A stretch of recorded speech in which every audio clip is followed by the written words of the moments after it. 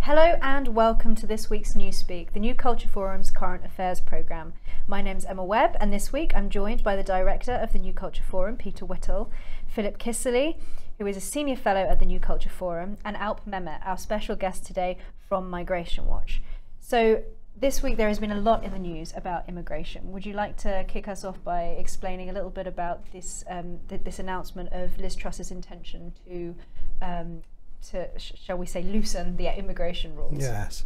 Um, the funny thing is that the system has already been loosened to the point of ridiculousness. Mm. It's absolutely absurd that we should be looking to loosen it even further.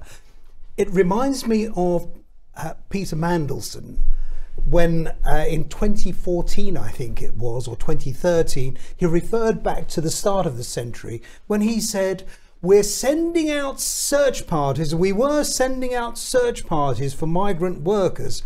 That seems to be what Liz Truss is proposing now. It's absolutely absurd and certainly very unconservative. So what she wants to do, essentially, as I understand it, is she wants to loosen the immigration rules in order to help kickstart the economy, to stimulate. She thinks it will stimulate growth, mm.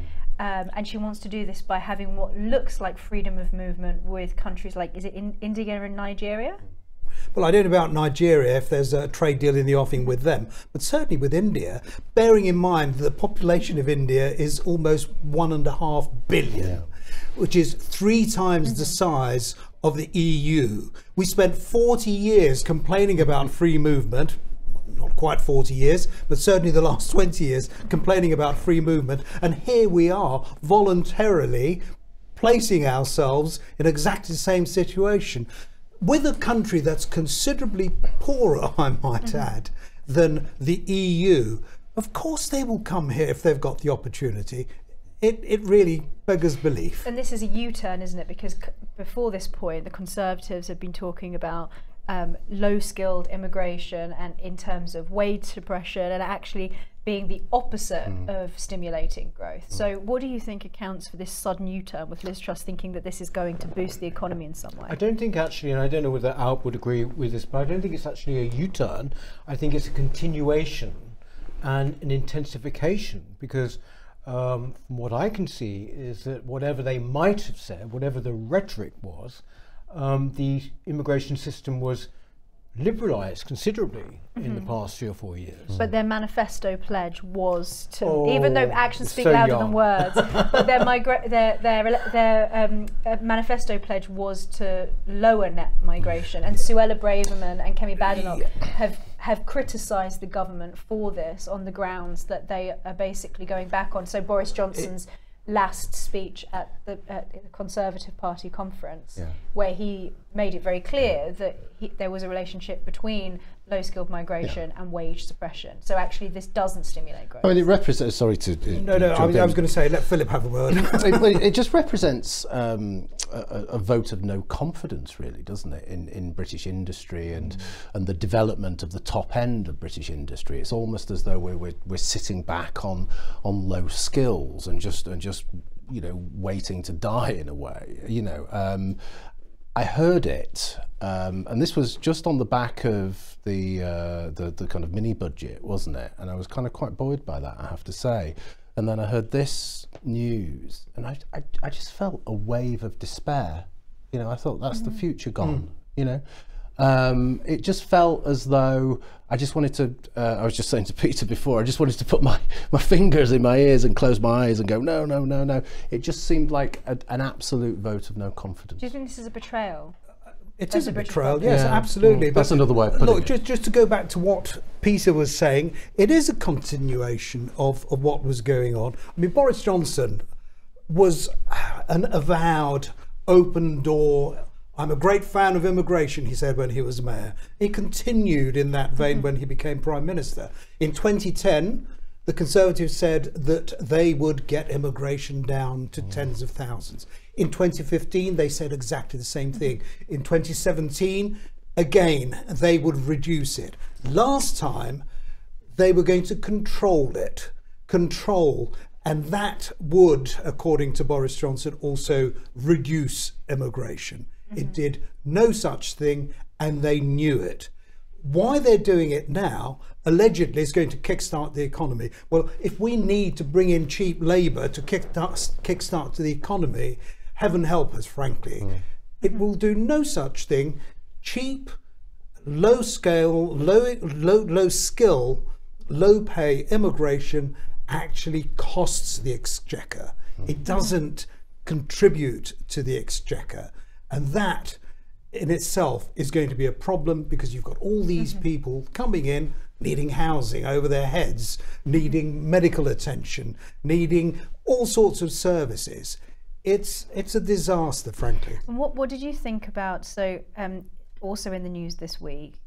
Um, the defeat of the legal challenge against the deportation of Albanians, because according to the Home Office, I found this unbelievable. Six in ten of those crossing the channel yeah. are from Albania. Mm. Six in ten. Six mm. in ten. So these are not people who are fleeing from war-torn countries. They're coming mostly, it seems, from mm. Albania. Mm. So could you tell us a bit more about that legal challenge? Well, we have to be careful here. Um, the six in ten that followed some sort of research investigation um, as a result of, of a leak, I believe, and it covered a particular period or over a, a month or six weeks or something. And during that period, it seems that 60% of those crossing in boats were from Albania. Now, undoubtedly, there are Albanians coming now. Mm. Uh, whether overall it's 60% Albanians, I just wouldn't like to say. Mm. Nevertheless, whether they're coming from Albania or anywhere else, they know that once they get into a dinghy, the likelihood is that they will end up here and they will never go anywhere else for so long as they want to stay. What did you think of this, Philip? Again, it was it was just a, a wave of despair because it's um, I, have I've I've been to Albania um, and um, it is pretty much a, a, third world country, you know, uh, and and the the people who are coming over are male, uh, and and there is a, a an ex prison population that is coming over as well. So. I, I think there was some mad statistic about how there are more Albanians in, or almost more Albanians in British prisons than in Albania. Yeah, I, I, I, am not quite sure about the statistics. Mm-hmm. I, I, I, wouldn't quote it, but again, it's the same thing. And, and if you think about that and you think about it on the back of what's been going on in Leicester, what's been going on outside the Iranian embassy, we're just importing a whole load of the world's trouble and having to deal with it and dealing with it badly as well. Mm-hmm. I have to say, actually, on that point, it's very interesting when you see the the way that the police react to those demonstrations, the kind of softly, softly approach mm-hmm. they take. You know, whatever your view on vaccines or the pandemic, the way that those people were treated in their demonstrations, as mm-hmm. opposed to the way that these people are being treated. Oh, it's ideological policing. It's a, it's a two-tier system. Two-tier, two-tier policing. Mm. But I think the thing is, what worries me about this, Emma, really, is, is that uh, I think Alp's already alluded to it, is that there are there's this two strains on the what you might call the conservative side of looking at it. One is that we are a nation and that we are a country with a history and mm. all of those things. The other one sees the balance sheet alone, mm. right? Mm-hmm. Free marketeer fundamentalists, right? They don't really care about immigration. They don't really understand patriotism, I don't think. They don't even understand those sorts of very unquantifiable mm-hmm. things. Or rather, they don't care about them. And that seems to be the approach that seems to have have won. Mm. Actually, it seems. Well, they, those those people don't see the country as a country with all of those cultural and heritage and mm. history and all of those things. They, they see the country as a receptacle, don't they? That's, that's but even on that level, surely even if you were talking on an opportunist level, I'm still surprised that they actually announce this kind of thing mm. or let it be known that this is what they're going to do, given the the level of public concern about mm-hmm. it, it seems quite extraordinary. Do you think it, in, in some part it's suicidal on the part of the Conservative Party? Because obviously Liz Truss is modelling herself after Thatcher in many ways. Mm. She thinks that if she if she comes out with unpopular policies that work, then eventually she, will be she will be she'll mention it now well. rather than mention it in a year's time. I but, suppose. But do you think that that is actually unwise and that you know Liz Truss is not Margaret Thatcher? It's and even Margaret Thatcher I mean it doesn't have a completely um, sort of clean legacy in, in many people's opinions. Margaret so Thatcher was a conviction politician. She had she had views, she had ideas, and she had a, a dynamism that moved forward. Liz Truss is dressing up as Margaret mm-hmm. Thatcher. I was just looking at the, the, Labour Party conference today, and I was thinking, you know, has Keir Starmer got his uh, Paul Smith suit yet? You know, and. Uh, Liz Truss is dressing up like um, Margaret Thatcher uh, or playing the Margaret Thatcher card. It's like deja vu light, isn't it? You know, we want ideas. We want people yeah, moving thought, forward. I we don't my want parents role had done that play. decade, so I didn't have to. Well, yeah. Emma, uh, oh, sorry, Philip. Um, Call me Emma. It's all right. um, you could be whoever you want to be, Philip. Mm. um, well, yeah, that's the way things are going. I'm afraid. But look, I, my feeling is that this isn't just bad economics and bad social policy it's actually bad politics. Yeah. Mm-hmm. Mm. What what she is doing is actually um, putting a wedge between her and the people who elected the last the, the Conservative yeah. government in such droves. Wave goodbye only to those three marginal years red wall seats. Now um, you can argue that well, actually, there's the blue wall, and perhaps mm-hmm. they're looking to take care of that. I, I don't think they will. That would be extraordinarily unpopular in the Red Wall because there's so much concern the, about in the. In the Red Wall, the Red Wall has already said we're not voting Tory mm. again.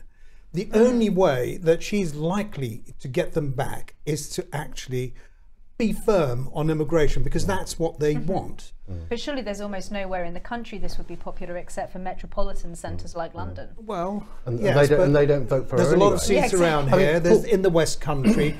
Uh, the ones where the Lib Dems might might win. So mm-hmm. there is an argument that says that um, you, you, you can't forget those the the sort of middle centre left within the mm-hmm. Conservative mm-hmm. Party.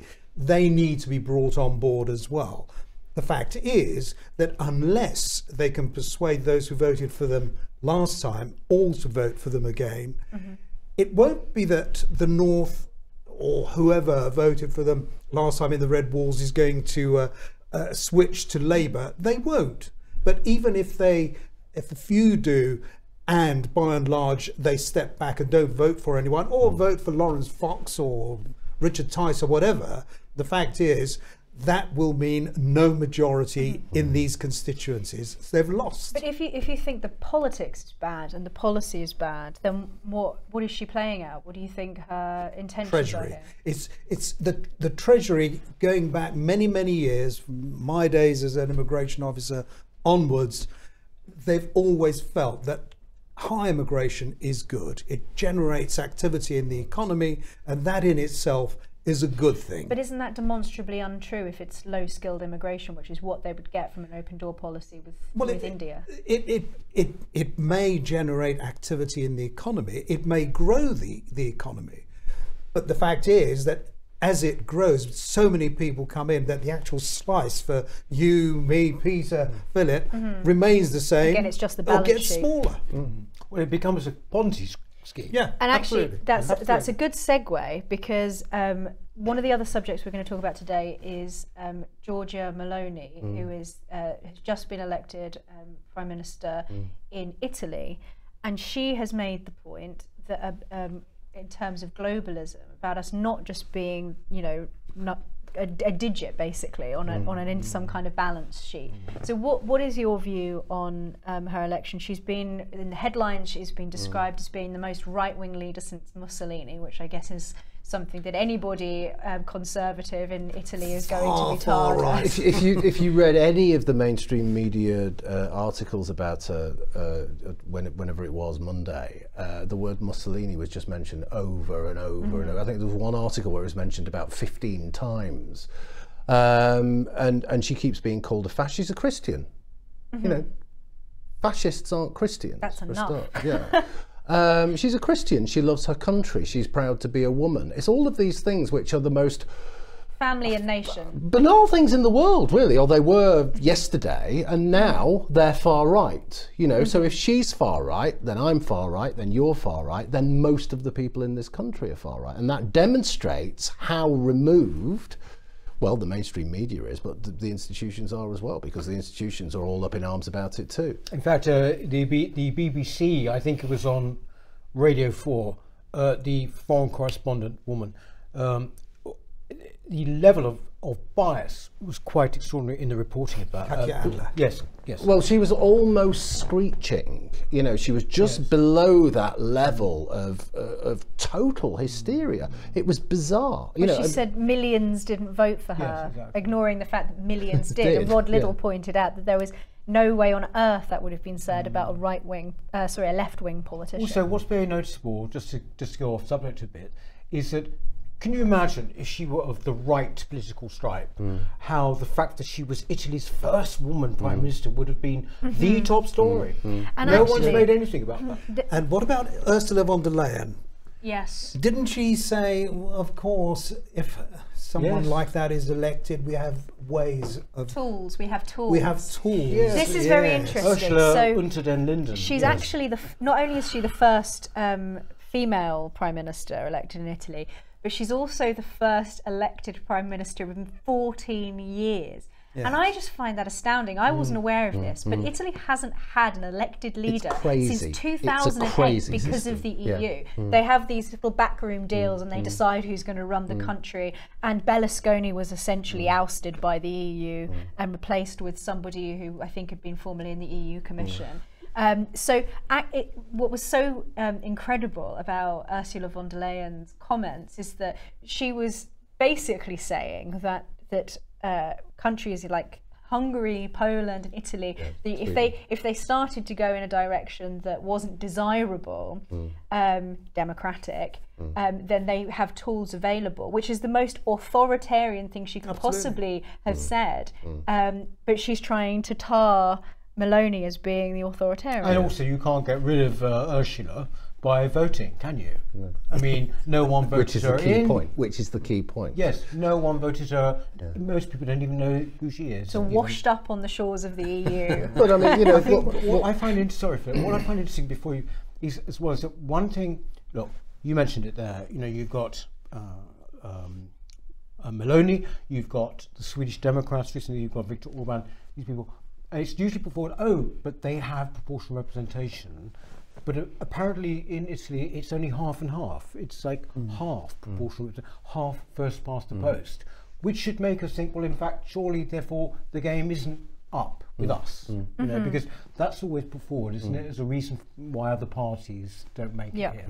And actually, I think not that long ago, they had a very, very tiny um, minority of the vote share. Mm. So they've really risen quite quickly. But it is worth pause for thought, this, isn't it? Because we've got Hungary, we've got Sweden, now we've got Italy. Mm. This really is mm-hmm. the road back to Europe. And actually, way, as you it? as you were saying before, I mean, even though her party has historical roots in a post-fascist party, I think is mm. is right.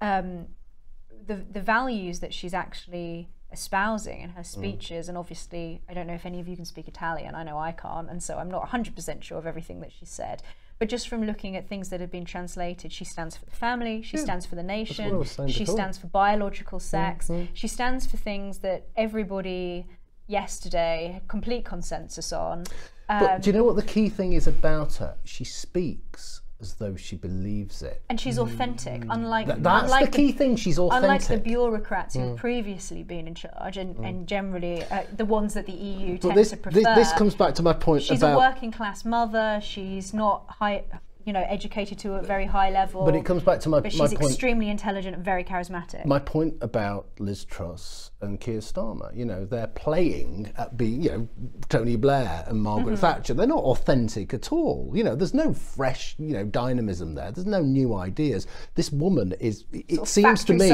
completely, yeah. It, just, it's just this woman is being herself, and she's mm-hmm. telling people from the heart what they want to hear. It's fantastic.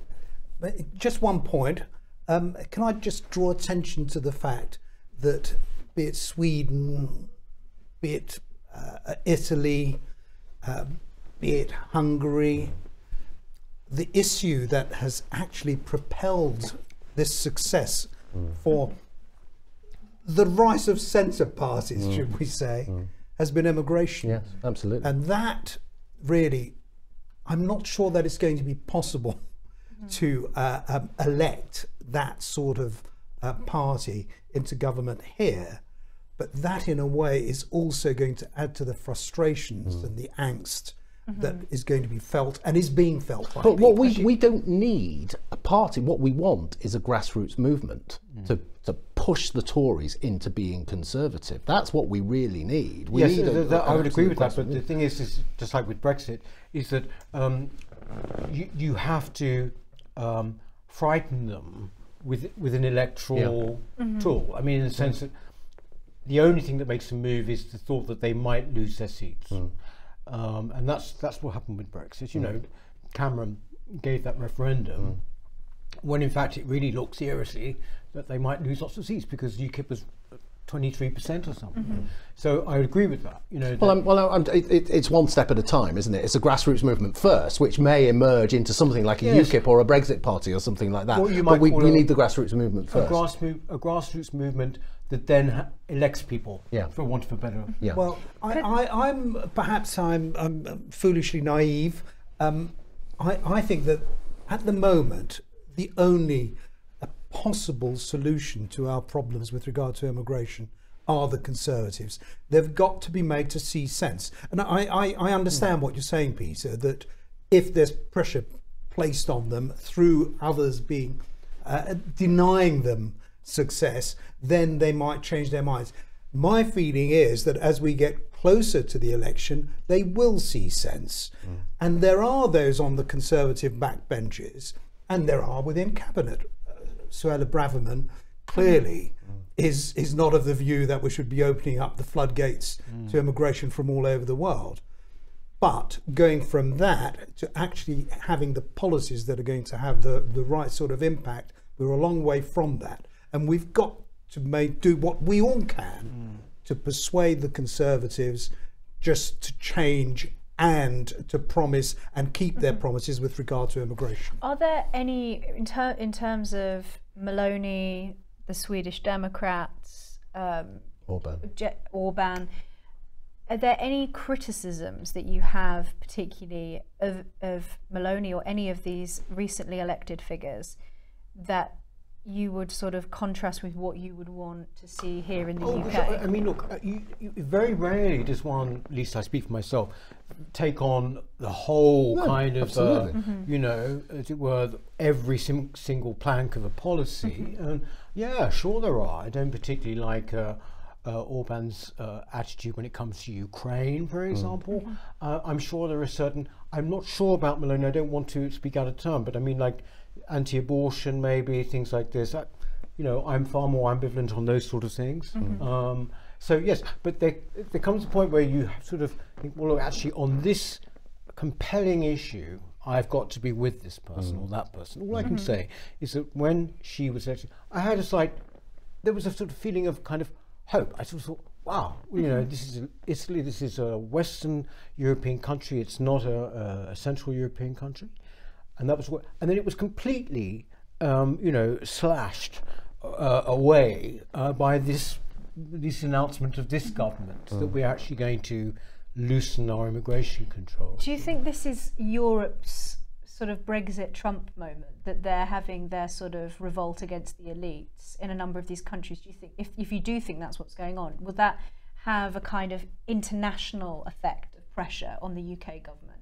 That they might see that if for example, they do go ahead with this policy to loosen immigration, which I'm interested to know whether you think that's actually going to happen, whether it's really possible, because the idea of, you know, opening the doors to potentially one, uh, 1.5 billion people seems outrageous. Um, that you know that that might create some kind of international pressure on the UK and it might make them give it a second thought because I, they might think well maybe this is really is going to make us almost permanently unelectable I, I, th- I, think it's I think it's too early to tell yet but I think that one of the things that will be a, a key feature is is the presidential election in, in America and see what mm-hmm. happens then because that might well change the, the mood music especially if Trump comes back can I ask why we're still sort of on the on the on this subject of immigration? Uh, you you might be able to help.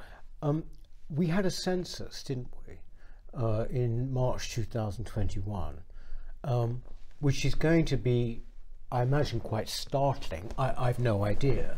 But why haven't we heard anything from it since? Can you sort of? Well, I gather we're we are going to hear uh, sometime in November the, the latest set of figures, but we have actually heard quite a bit already yeah. that in 10 years, the population of this country grew by three and a half million. Mm. 10 years. 10 years. Three Birminghams in just 10 ex- years. extraordinary. And we know from our own analyses that something like 80% plus of that was due to immigration. Mm. Immigration direct and indirect children born to to those who've come here. And that, that just cannot go on. It's interesting in the in the context of the co- cost of living crisis that you know we hear the phrase a lot and it's being discussed almost constantly, but we don't talk about pressures on housing. We don't talk about as we were saying earlier, the fact that unlimited unskilled immigration suppresses wages at the mm. lower end mm. of the wage spectrum. So the idea that in in the cost of living crisis, that the Conservatives would charge in with a policy like this, which would increase more pressure on the people who are at the at the mm. pardon the language, the bottom of that economic rung, just seems unbelievable and also a betrayal. Well, yeah, no, absolutely. It is it is a betrayal because it's broken promise after promise after promise. I, I, the the Conservatives at the moment, frankly, are in, in a circle and, and running round chasing their own tail. Round the they really don't know what they've got to do next. There are those who actually do get it, do understand, not just on immigration, in other areas as well. However, it seems that number 10, apart from the fact that um, we've, we've taken the route that we have with regard to liberalising the economy mm. and giving taxes, which I think uh, are a good thing, whether um, they're going to have the desired effect within two years come the next election, I'm not so sure. You think they're being very optimistic? They're being very op- optimistic. And in the end, if they want to win the election, mm. they better get their act together on immigration. I mean, ultimately, I would say that, wouldn't I? Sorry. Yeah, ultimately as well. I mean, what's going to happen? The low-skilled workers will stay here, but the people with very high skills. I'm talking about postgraduate students here. Who, who come here in massive numbers, and most of the postgraduate taught postgraduate students in this country actually are from other countries. They're not. They're certainly not British. Uh, they come, they learn, and then they go. They take those skills elsewhere. So that dynamic seems to be a ludicrous dynamic to me. And any government that is uh, happy with that or even pushing that dynamic is, is, you know, there's no reason for us to be optimistic about any of this, frankly. Can, can I differ on that slightly, Philip? That they do leave, but if you look at um, those who are granted settlement, mm. something like 20% of those are uh, they start the whole process by arriving as students. Mm. In addition to that, they now also, and, and we, we've got around 600,000 um, overseas students here, they can stay on after they complete their mm. studies mm. for two years to mm. work. I mean, that's people seem to overlook the fact that mm. they they can stay here to work any job. Mm. They're not all going to become engineers and brain surgeons. They do menial jobs just for the sake of staying here, by and large. In addition to that, there's something like 80,000 family members mm. Who are now coming yes, which as is, well. Which is massive. But there is one demographic that Huge. doesn't tend to do that, and it's a massive demographic, and that's the Chinese demographic. They absolutely take their skills right back to China. Was that, so you, you mentioned the family members coming over, was that a recent loosening of immigration rules? Uh, yes, yes, because it's mostly postgraduate students who are bringing mm. those um, family members in, mm. and that it was something like twelve thousand, and in the last set of figures we've got available for, I think 2021, it was eighty thousand. Huge. Is, That's incredible. There is, I, I cannot see any justification for students bringing dependents or family members. Mm. I, I just can't see it. I think this will come as a bit of a shock to many people. Well, I suppose there are various levels. It doesn't yeah. tend to be, uh, correct me if I'm wrong on this, but I don't think it tends to be taught MA students. It tends to be PhD yeah. students and research students. Which is more it? understandable. And they, and they might like well be any age. It is. Yeah. It is. You're right. It is mostly I don't know about MA, but it is mostly postgrads, and we, we've got a lot of them. I think part of the problem is the fact that there are a lot of universities now Mm. They're they're not all brilliant. However, um, they are they're becoming increasingly dependent, if they haven't already become dependent on overseas students, the higher mm. fees and and all that. And that, I'm afraid, is one of the drivers of bringing in more and more um, young people. I worked overseas, giving visas to students who wanted to come here, I, I know that they're not all coming here to be aspiring Einsteins. They mm. just mm. it just there's a little bit there's a little realistic. bit of there's a little bit of cultural tourism around it. Yeah, and you know, but they they they, they come here for as, as well for the. Uh, for the piece of paper that's from a, a, an English university, that that does have currency in, in, in places like China, you know. Let's let's briefly touch on. Um, you had one final. Uh, one, one final point. Um, th there's something called this uh, uh, um, the shortage for occupation list, the SOL, and there's a there's a drive now to expand that. If you go on, if a particular sector says, you know, there's a shortage of, I don't know, uh, um, care workers, for example, let's let's put them on the list and you say, well, wait a minute, um, have we tried actually paying a little bit more and changing the conditions? But the fact is that for anyone on the shortage of occupation list, it means that they can brought in unlimited numbers at 80% of the going rate in this country. Mm. And it's another aspect to that, um, before we move on, is that there are a very large number of vacancies in this country but an even larger number of people who are unemployed. And one of the problems and one of the reasons, uh, one of the arguments against bringing in unlimited um, migration to fill those roles is that it means that the government can get their growth without actually investing mm. in the people who are already here and getting them into work and creating a more efficient system. I think I read somewhere that one of the uh, one example of how certain areas of work have become more efficient is that at the turn of the century we had um, electric car washers and now we have loads of hand car washers yeah. and that's something that a lot of Malvanian decli- declined in efficiency quite dramatically. So actually, if the government wanted long-term growth and weren't just thinking in terms of electoral cycles, mm. then they would invest in the British public. But instead, they want that quick hit. They want the they're sort of a Deliveroo government. They want it. They want it now so that they can save themselves in it's the next cheaper. election. It's cheaper. We've just finished some work on um, the medical sector. And the number of doctors who can train here is limited.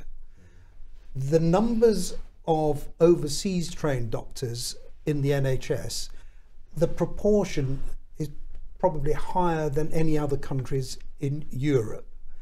It's cheaper. You don't have to train them. They've already been trained. They come over here and they're prepared to work for less. Mm. That's the cynical mm. bit of me that says that's the only reason we're doing that. It happens with nurses, with dentists, all sorts of areas. With nurses, here we are recruiting nurses from countries that frankly need them a great deal more than we do, short as we are. And I suppose just just, just to finish that point as well, at the other end of the uh, of the pay scale is uh, people working in care homes. So that's very cheap mm-hmm. labour, and that mm-hmm. tends to come from Africa, I think, primarily. Uh, and and and that is a, a, a we're a, we're an aging population, aren't we? So it's a burgeoning it's a burgeoning market. Are, are we? I mean, I think that you know this idea of, of basically forgetting any chance or just dismissing any chance of retraining uh, our own people here. Um, that this is now more or less, there's not even lip service given to this anymore. Uh, that is a huge betrayal, as I see it, mm. um, yeah. of, of future generations or indeed present generations. Young people here, yeah. Yeah, and, and, and quite extraordinary, actually, that it's sort of almost openly admitted.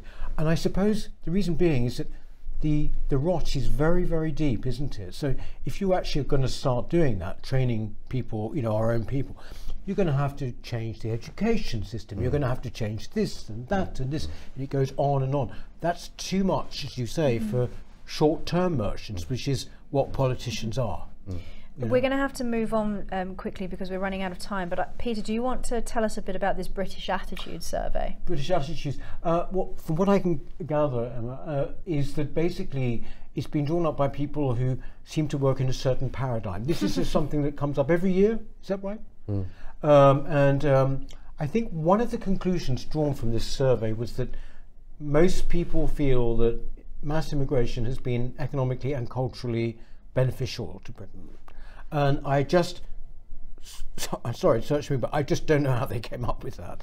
Um, but that is one of the headline the results. I it. think one of the complaints is that the questions were leading and the categories were confused. So I've got a quote here. It's like literally, um, are you, as Jo Brand used to say, are you a fat bastard? you know, it's like, you know, are you a racist bigot?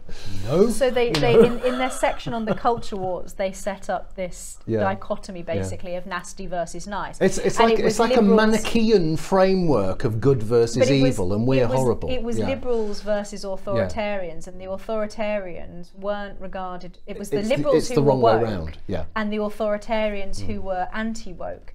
Yeah. Um, and it, uh, there's a quote here from um, Gareth Roberts, who wrote a great piece in The He's Spectator yeah. um, on this, and he said, "This is an extreme example of the public sphere using 20th century words for 19th century concepts mm. in a world altered beyond recognition, referring to political divisions in terms of liberal mm. versus authoritarian, and quite possibly left and right." is about as much use as describing metaverse programming in the vernacular of the Battle of Trafalgar. but you know, there's lots Sorry, of I've lost me there a bit. Actually. Well, there, there, there, are lots of lefty lawyers on Twitter saying, "Well, you know, it's just caring. It's nice. It's it's being respectful to people. What's wrong with that?" And uh, you know, I I think you know, uh, you don't think that. You know that's a lie.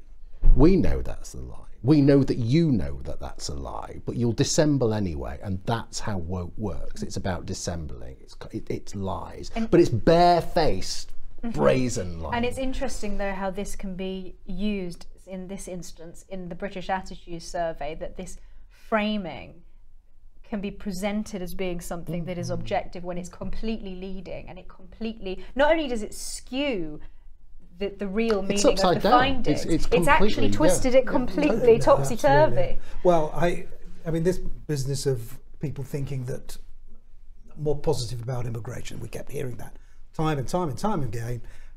So last July, we commissioned some polling um, from Migration Watch uh, done by Deltapoll, very respectable, and actually something like 60% of people thought that immigration had been too too high and needed to come down. Among conservative voters, it was over 80% for yeah. goodness sake. So, yeah. you know, I, I just don't, as, as you say, if you ask a straight question, you will get a straight answer. Mm -hmm if you try subterfuge and, and trying mm. to uh, disguise what it is that you're really saying to get the right answer, mm-hmm. that can also happen. It's and that's what's going on throughout. To, to, to call on the name of this program, it's interesting newspeak, isn't mm. it? To refer basically to the advocates of free speech as being authoritarian and those who want to clamp down on mm. free speech mm. as being liberals.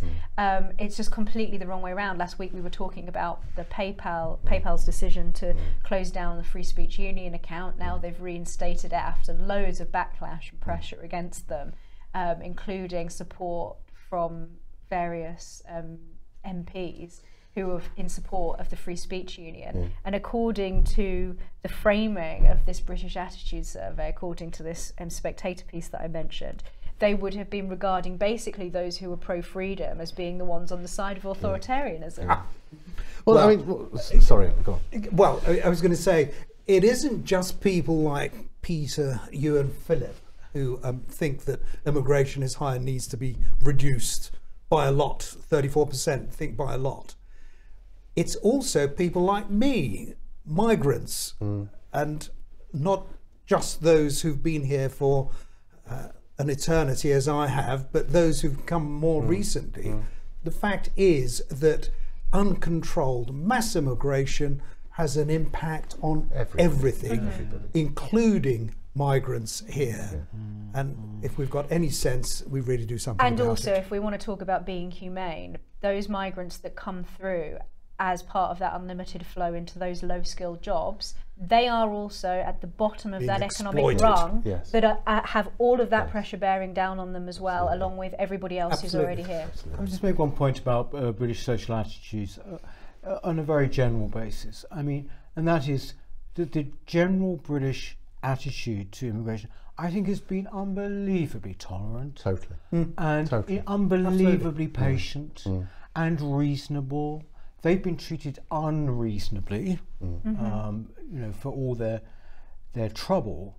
Um, but th- people can make the distinction quite easily between immigration, which I think most people have no problem with, you know, mm. like what you might call ordinary moderate migration, and unprecedented mass migration mm. of the type we've had over the past 20 years. Most people can make that distinction. Mm-hmm. Um, but increasingly, the powers that be blur this, just mm. like they're blurring the language. I'm sure you you would uh, oh, support me in that. They're blurring the kind of the whole language, distorting it. Yeah, I think the problem is most people will make that distinction in private, but if you utter that distinction in public, then you are just branded racist.